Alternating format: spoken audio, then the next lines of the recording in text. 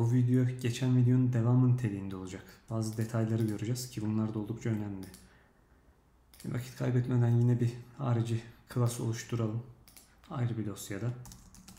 Yine nesneler adını veriyorum. Üzerine çok düşünmeye gerek yok. Class nesneler. Observable object olarak belirtiyorum yine.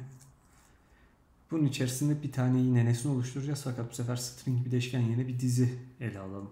Biraz daha işi farklı hale getirelim. Öncesinde nasıl yapıyorduk? Evet. Published var işte liste 1 diyelim buna. Eşittir. Şöyle dizi olduğu için şu şekilde tanımlamamız gerekiyor. Diziyi tanımladık. Geldik şuraya.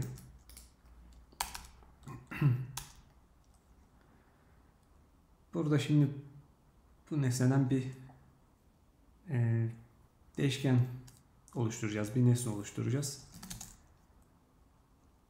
Liste diyorum adına. Çok önemli değil şu anda. Ve nesneler dizisinden bunu ele alacağız. Tabi şurada observed object dememiz gerekiyor. Şu provider'ları da halledelim.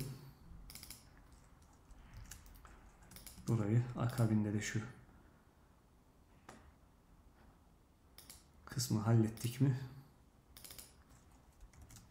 Tamamdır. Geldik buraya. Şu ekranımız bir açılsın. Bu sefer burada bir listeleme işlemi yapacağız. Şurada bir tane buton oluşturalım. Ekle butonu.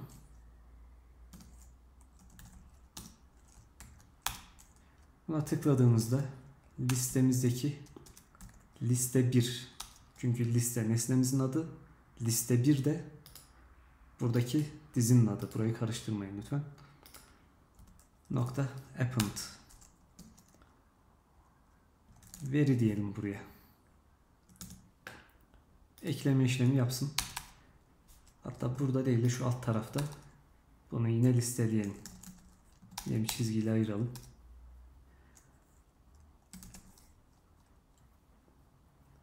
Burada bir for each ile listeyi tanımlayacağız. Listeyi listeleyeceğiz. Daha doğrusu liste nokta liste 1. Döngü değişkeni olarak a'yı belirtelim. Burada da text a'yı yazdıralım. Tabi şurada bir id belirtmemiz gerekiyor. Çünkü uid belirtmedik dizi oluştururken. Ters slash nokta self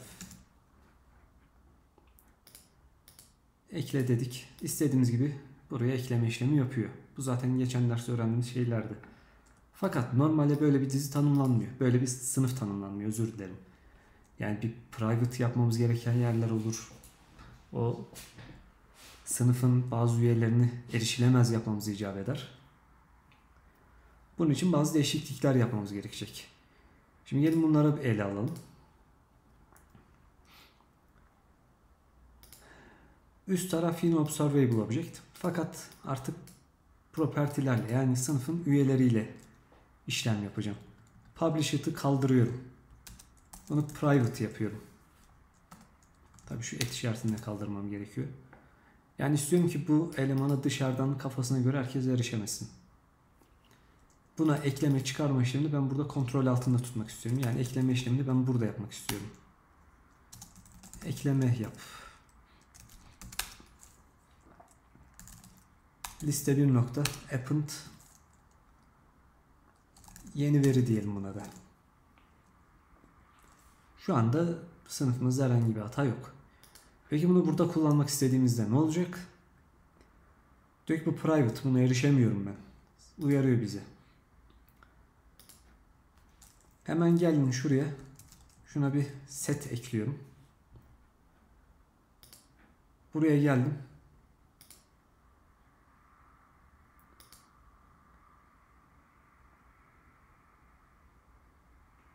Immutable diyor. Şimdi aslında burada okuma işlemini yapabiliyoruz.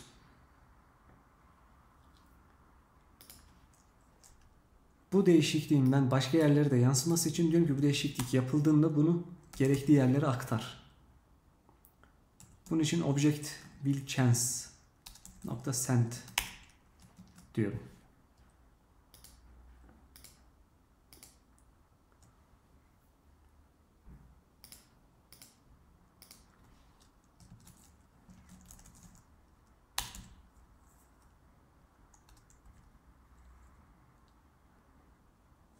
Burada niye hata verdi? Şöyle yapmamız gerekiyor. Liste nokta ekleme yap. Burayı da değiştirdik artık. Dolayısıyla ekleme işlemini orada yapıyoruz.